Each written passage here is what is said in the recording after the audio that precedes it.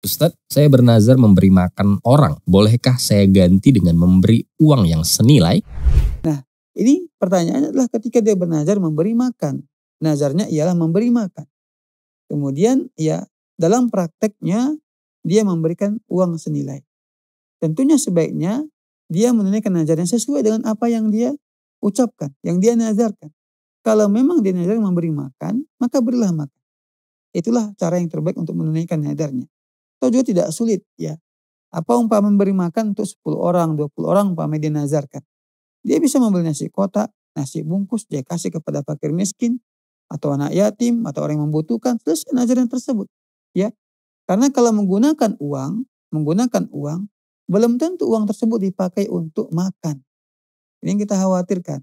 Karena niat kita ialah memberi makan, bukan memberi uang. Wallahu ta'ala a'lam.